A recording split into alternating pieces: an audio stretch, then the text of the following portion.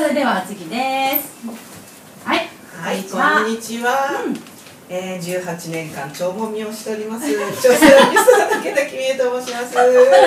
君江さんのそのねその言葉がすごく好きで印象にすごく残りますよね。そうですか。うん。うん。18年間超もみって年季入ってんなーって。ね相当年季入ってるので、ねえ。腸のことなら何でも聞いてみようと思うよね。くださいって感じなんですけど、ま今日は？今日はですね、まあ腸のこといろいろ今までお伝えしてきたんですけれども、腸とですねプラス、はい。えっ、と毒を溜め込むとうん。どうなっちゃうかっていうね、あー。うん話をちょっとしてみようかなと思いまして、はい。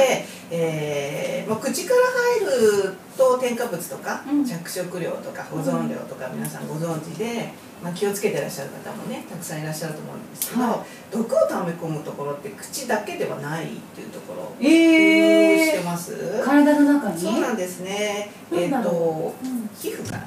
あはいはい。毛穴？経皮毒っていうの聞いたことありますか？経皮毒。はい。皮膚からね毒が入りますよっていうことを、えー若いお母様たちにもお伝えしてます、えーお口から入るよりも解毒ができないのでさらに溜め込んでしまう。うん。まあ皮膚から入るっていうことは石鹸うん。シャンプーリンスあ化粧品あとは、えー赤ちゃんとかにこうかゆみ止めとかあとはそうですね虫刺されるシューとかってね。あとはお部屋の中で虫除けスプレーみたいなねも皮膚から入っていってしまうんですね。なるほど。そうです。それがなかなか抜けなくてこうだんだんだんだん蓄積されていって、うん。まあ4キロから10キロぐらいやっぱりこう溜め込む年間ね溜め込んでいくんですね、それが、まあ、ご自身の代謝がうまくいかないとどんどんどんどん溜め込んでしまって病気を作ってしまう。そして先ほどのダイエットにつながるように太ってしまう、うん、なんか毒を溜め込んで太りたくないですよね。ないないしだって。してないみたいな感じですよね。全然意識なかったそんな肌からとか。で、うんそこがやっぱりこれからお子さんをねこううん。産むっていう赤ちゃんにも影響がある。そしてうん。生まれてすぐ喘息だとかアトピーだとか、そういう影響がありますよということを今お伝えして、うんいます。まあ本当は結婚する前にこの情報を知ってうん。体をきれいにしてから結婚っていう、うん。まあ女性だけではなくて男性ももちろんきれいにして結婚することがベストってことなんですけれどもそういう若いママさん向けに、まあ、セミナーをしてみたりとかうん。お伝えをもしてます、うん、そうなんですね。そして、えー私のところではですねその毒出しをどうやってやるのっていうのをうん。セミナーしたりもしてますので、なんと21日間でクリーンプログラムっていうのを実行できるんですね、うん。早く集中して毒を出しちゃおうみたいな。そうするとですね、ちょっとですね、本当ラジオだから本当に見れなくて残念。まあ YouTube でちょっと映像をね、えー見せていきますけれども。何これ。なんと21日間 ,1 日間で毒を出していくとお肌の様子とかはお顔のなんだろうな骨格とかあとは男性で言えば頭皮ですよね。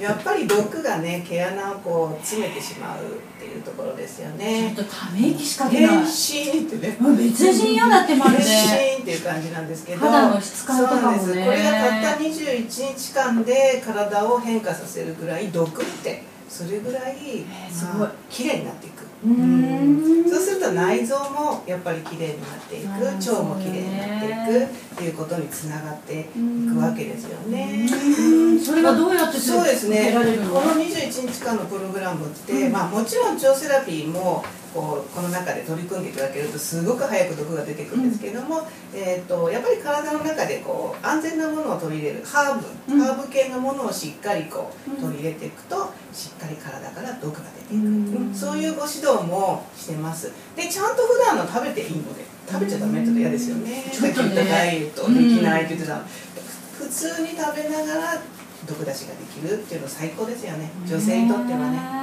そういったことをあのまあ今まで毒や出したことないっていう人はぜひですね、私のところにね来てほしいなって思います、えー結構ね人生が変わりますよね。これだけこう見た目がスレンダーになって。これになったらさ、ちょっとうん、今まで逆じゃないですからね。本当本当。若返っっていくってことでは。あれもやりたいこれもやりたいってね最近ではねあのすごいアトピーの方がですねあ来ていただいて今ちょうど終わったところ。すごいお肌きれいになってのお仕事をしたいということでうん。しっかりやっていただいた方もいらっしゃいますので素晴らしい。ぜひぜひ、受けたい方は。健康な方はうん。ぜひぜひ来ていただいて、うん。毒出しみんなでやっていきたいなって思っております。うん。はーい。わあすごい。今日もいっぱい勉強になった。知るって大事だね。ありがとうございまはい、した。すごいありがとうございました。わあ、すごい、本当毎回知らないことばっかりで、いつもお勉強お勉強させていただいてありがとうございます。